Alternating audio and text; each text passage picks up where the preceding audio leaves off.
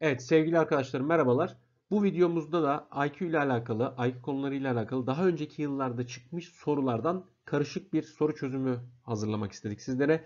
İstanbul var, Cerrahpaşa var, Ege'den var, Yıldız Teknik'ten var hatırladığım kadarıyla.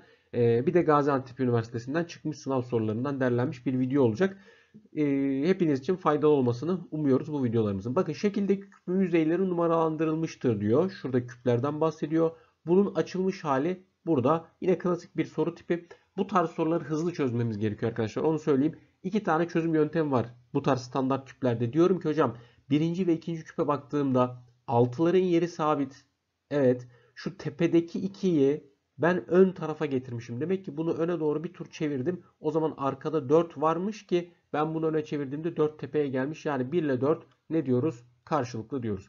Aynı mantıkla 2 ve 3. küplere baktığımızda altıların yeri sabitken şuradaki 4'ü ben ön tarafa getirdiysem demek ki ilk küpte arkada 3 varmış ki 3 de tepeye gelmiş. Yani 2 ile 3 de karşılıklı diyorum. O zaman 1, 2, 3, 4'ün karşılıklı olduğunu biliyorsam geriye kalan 2 tane de yüzey otomatikman karşılıklı diyebiliriz. Tamam mı? Şimdi dikkat et. Bir yöntem daha öğreteyim sana. Bunu da sınavlarında kullan ve hızlı bir şekilde bu tarz soruları çöz.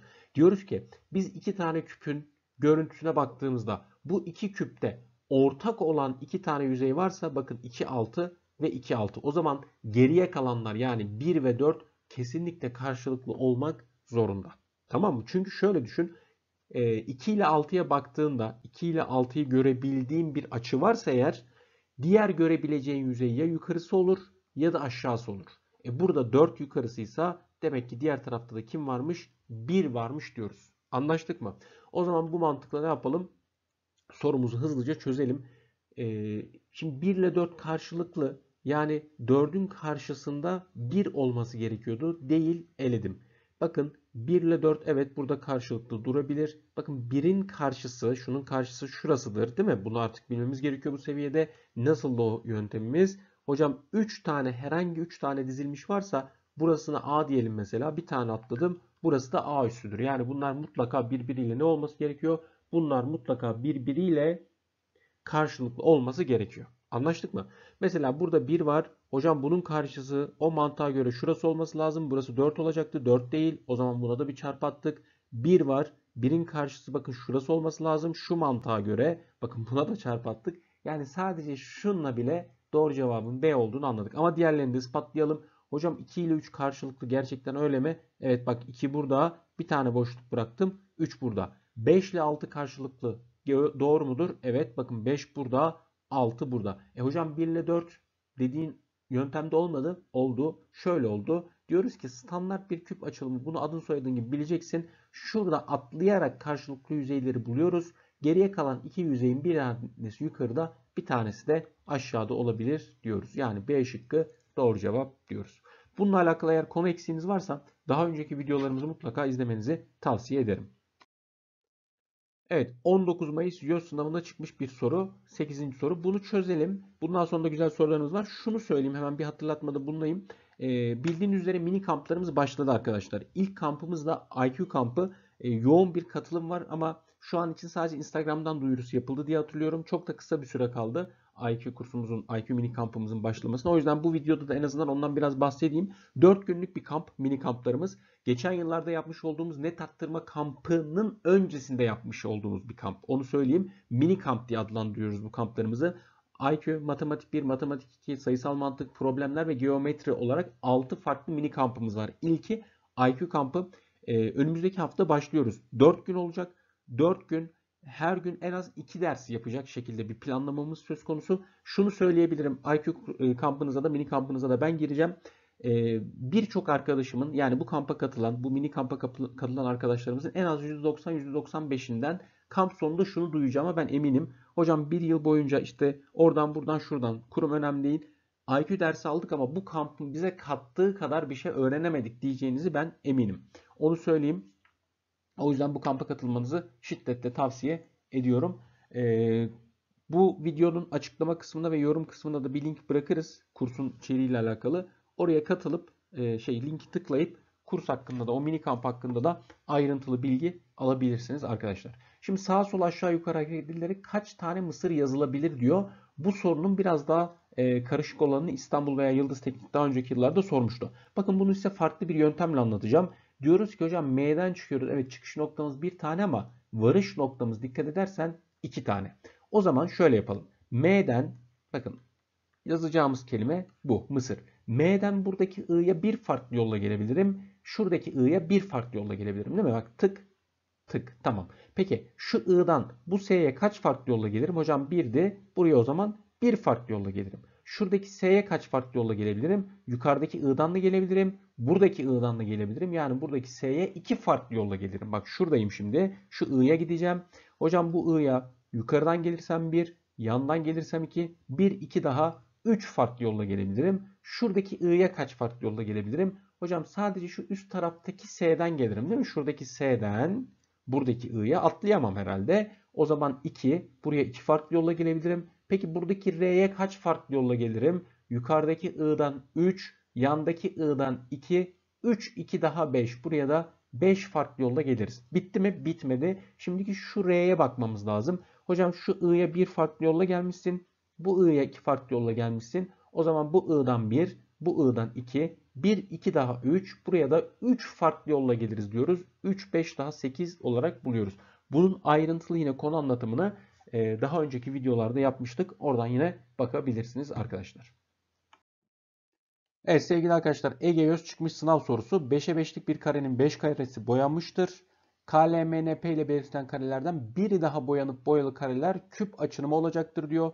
Buna göre boyanacak kare hangisi olamaz? Şimdi mesela başlayalım bir yerden. M'yi boyadığımızı düşünürsek dikkat edin.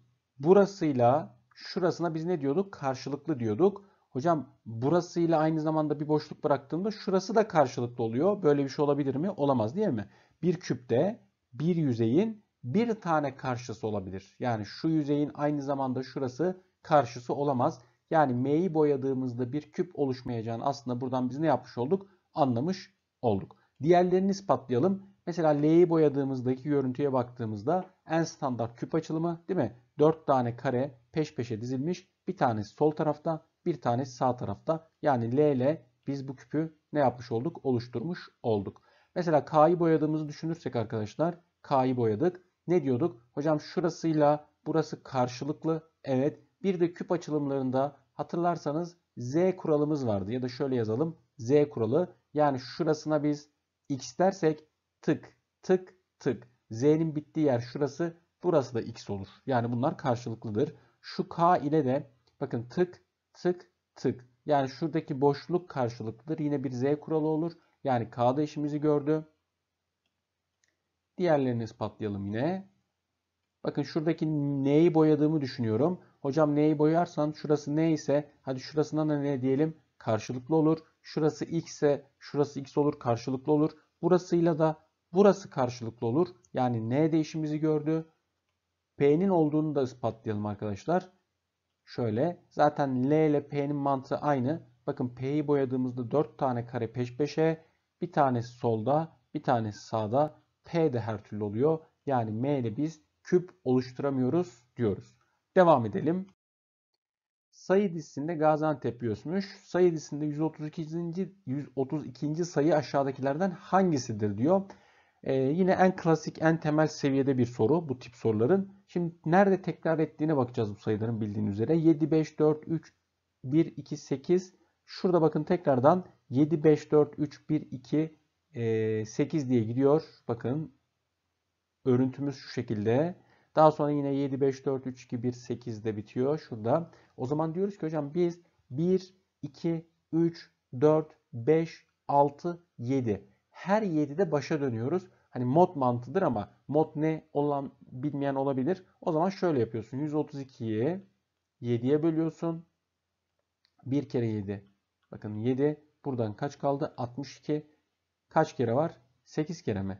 Ee, 56 oluyor değil mi? 56. Buradan kaç kalıyor? 6 kalıyor. O zaman diyoruz ki hocam biz burada 18 tane böyle grup varmış. Doğru mu? Bak 18'e böldüm. 18 tane böyle 7'li var. 7'li, 7'li, 7'li, 7'li. Daha sonra geriye 6 tanesi artıyor. O zaman en baştan itibaren 6 tane sayıyorum ve cevabım oluyor. 1, 2, 3, 4, 5 ve 6. Demek ki 6. rakamımız bizim kaçmış arkadaşlar? 2'ymiş diyoruz. Devam. Evet arkadaşlar yine İstanbul e, çıkmış sınav sorusu. İstanbul Üniversitesi son zamanlarda bu tarz soruları çok defa sordu. Yani yılda 2-3 tane sorabiliyor bir sınavın içerisinde. Bunun kolay veya zor olması önemli değil şu an çözeceğimiz sorun ama bu mantıkta sorular soruyor. Yani yukarıda bir e, işlem kümesi veriyor. Nasıl yapılacağıyla alakalı. Alt tarafta bununla bir tane örnek veriyor ve bize bir tane bir soru soruyor. Şimdi bunu çözelim. Şimdi ne diyor? Diyor ki şunu biz sayının sağ tarafına koyarsak sayının karesi 1 eksiyle 1 fazlasının çarpımı 2 eksiyle 2 fazlasının çarpımı böyle gidecek diyor. Burası 1 olana kadar gidecek ve bunları toplayacağım diyor. Şimdi bu şekli biz sayının sol tarafına koyarsak sayının karesi 1 eksiğinin karesi 2 eksiğinin karesi bu böyle 1'e kadar gidecek diyor. Şimdi burada bir tane örnek vermiş. Bakın 3 ile 4 için. Mesela sol tarafa koyduğumuzda ne yapıyorduk? Sayının karesi, 1 eksiğinin karesi, 2 eksiğinin karesi 1'e kadar gitti. Bunların toplamı. Sağ tarafına koyarsak dikkat et sayının karesi 1 eksiyle 1 fazlasının çarpımı, 2 eksiyle 2 fazlasının, 3 eksiyle 3 fazlasının çarpımı ve bunların toplamı. Şimdi biz bunları 6 ve 5'e yapmamızı istiyor. Bakın sayının sağ tarafına şekli koyduğumuzda ne yapıyorduk arkadaşlar? Sayının sağ tarafına koyduğumuzda sayının karesi artı 6 sayımız 6. 6'nın 1 eksiği 5, 1 fazlası artı 1 eksiği 1 fazlası, 1 eksiği bunlar böyle devam edecek. 1 fazlası, 1 eksiği 1 fazlası, 1 eksiği 1 fazlası diye gidecek. Tamam mı? Şurası ne oldu? 35 oldu, 32 oldu, 27 oldu, 20 oldu. Şurada 11'imiz var, şurada da 36'mız var. Şu üst taraftaki sayıların toplamı arkadaşlar 161 oluyor. Tamam 161. Şimdi şunu yapalım. Sol tarafa koyduğumuzda ne yapıyorduk? Dikkat et sayının karesi yani 5'in karesi artı 1 eksiğinin karesi. Yine 1 eksiğinin karesi yani 3'ün karesi. Daha sonra 2'nin karesi. Bakın ne diye gittik biz burada? 25, 16, 9, 4. Daha sonra da 1'in karesi 1 olacak. Şunların toplamı da 55 oluyor arkadaşlar. 161'den 55'i çıkarmamızı istiyor. 161 eksi 55'te 106 olarak bulmuş oluyoruz. Evet devam edelim. Evet bakın Yıldız Teknik Üniversitesi nasıl bir soru sormuş. Bakalım. Ee, şimdi bakın burada 1 var. Şurası 5. Burası 14. Burası 30. Dikkat edersen burada bir tane kare var. Tamam. Burada 4 tane var. Buraya baktığımızda 3, 6, 9, 9 tane var. Bakın burası 4 çarpı 4'ten 16 tane kare var. Yani aslında şöyle ilerlemiş. 1'in karesi, 2'nin karesi, 3'ün karesi, 4'ün karesi. Ama dikkat edersen şurası 1 birim 1'in karesi, 2 birim 2'nin karesi, 3 birim 3'ün karesi, 4 birim 4'ün karesi. Yani bundan sonra biz şunu bekliyoruz. 5 birim 5'in karesi. Yani şurada 5'e 5'lik bir kare var arkadaşlar.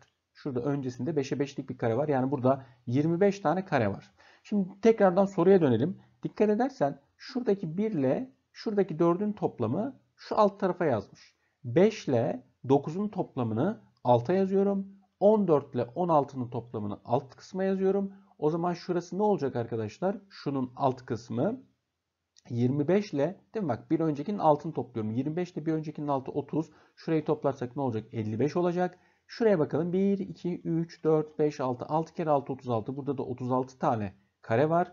36 ile bir öncekinin alt kısmı yani 55 ile 36'yı topladığımızda da cevabımız 91 diyeceğiz. Bunun birkaç farklı yöntem var ama en mantıklısı bu diyebiliriz. Devam edelim. Şimdi İstanbul Göz sorusu yine klasik standart soru tiplerinden bir tanesi aslında. Şimdi diyor ki ben buna öyle bir yerden bakmışım ki böyle bir görüntü oluşturmuşum. Nasıl oluşturabiliriz bunu? Şimdi dikkat edersen buna şu yüzeyden yani sağ taraftan doğru bakarsak sağdan şu yüzeyden şöyle bakarsak şu şekilde göreceğimiz görüntü şu olur değil mi? İlk başta bir tane çarpı olur. Bakın şurası. Bunun hemen altında beyaz bir bölge. Beyazın hemen altında şu ön taraftaki çarpıyı göreceğim için bunu görürüm.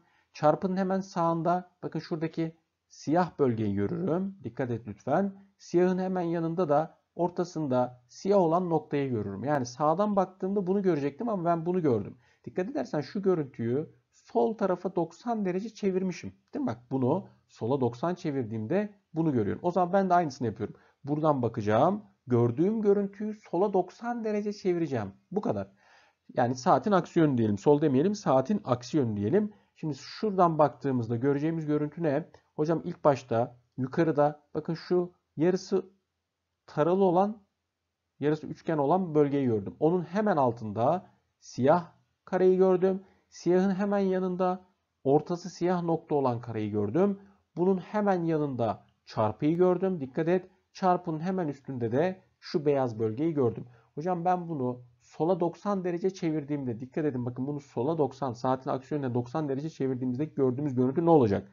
Şuradaki beyaz bölge tepeye çıkacak. Hemen onun yanında şöyle bir çarpı olacak. Çarpının altında siyah nokta olacak. Siyah noktanın hemen altında tamamıyla siyah bir karemiz. Siyah karenin yanında da şu görüntü olacak. O peki nasıl olacak arkadaşlar?